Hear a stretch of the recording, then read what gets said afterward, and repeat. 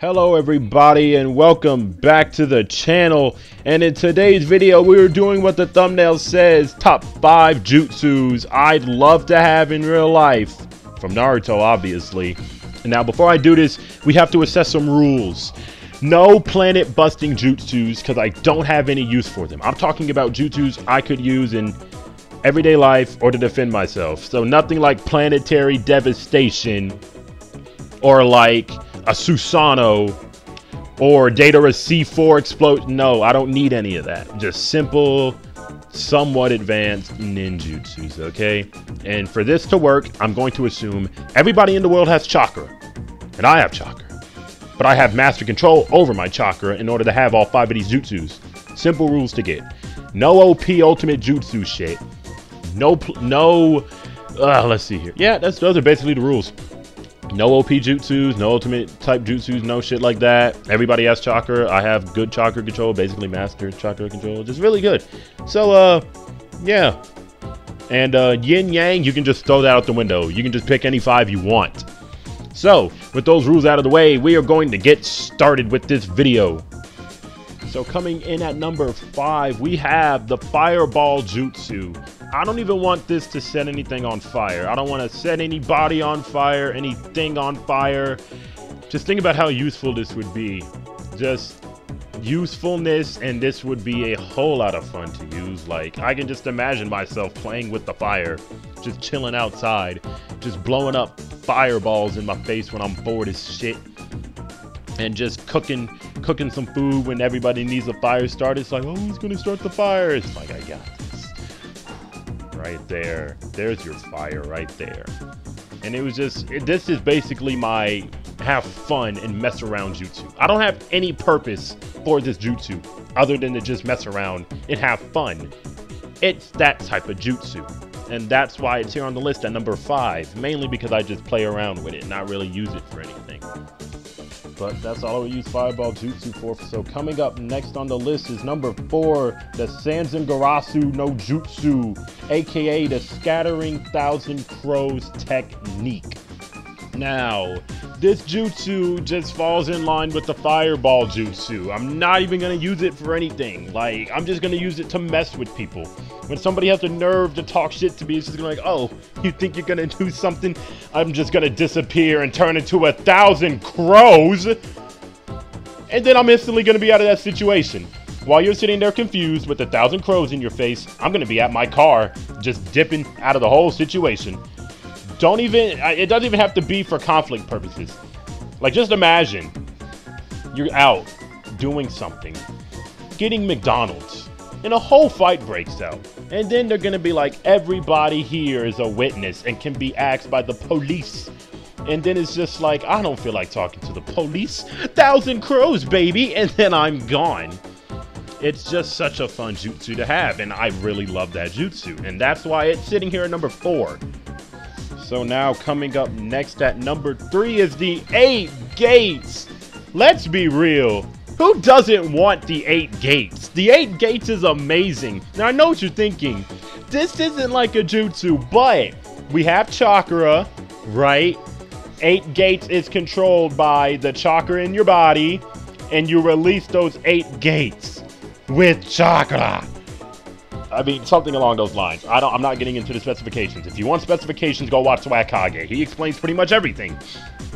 So, yes, you can't tell me when you didn't see the eight gates get unleashed. You were just sitting there like, holy shit, the eight gates is amazing. I need the eight gates right now. You go watch Rock Lee versus Gaara. Go watch him after he unleashes the eight gates. Go watch Might Guy unleash the eight gates on Kisame. Go watch Might Guy unleash the eight gates on Madara. Go watch any, any, any eight gates. Go watch anything about the eight gates. You, it's awesome. Eight gates, you're on here. I love you. And coming after the eight gates at number two is the Shadow Possession Jutsu. Another jutsu that I would just use to mess around with people. And I cannot express enough how much I love this jutsu. Plenty of times, like, uh, uh, just think. Just, just sit back. I'm gonna wait five seconds. just sit back and think how funny it would be to have Shadow Possession Jutsu.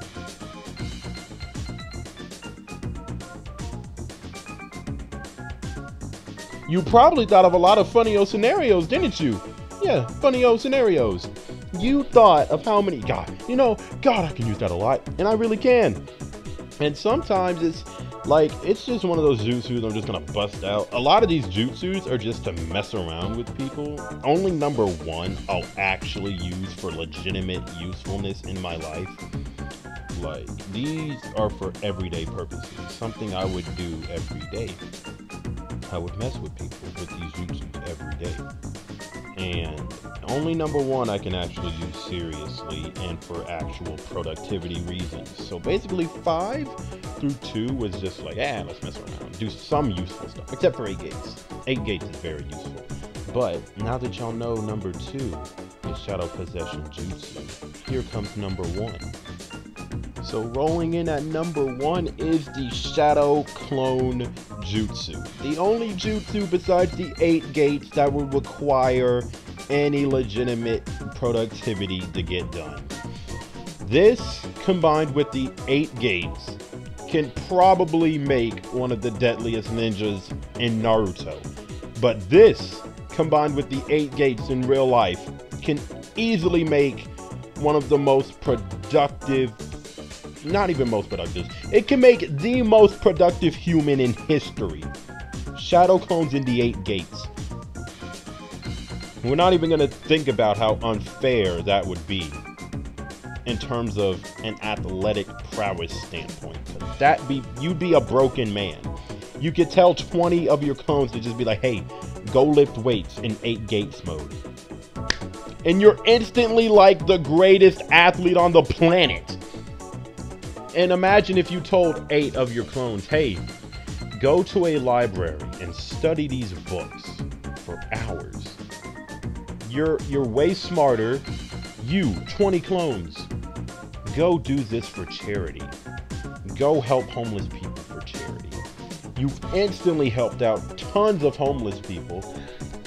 So, Shadow Clone Jutsu, in case y'all don't know, it can speed up the training process. So, like Naruto when he wanted to learn the new jutsu, something that they said would probably take him years to learn, he learned it in about a week.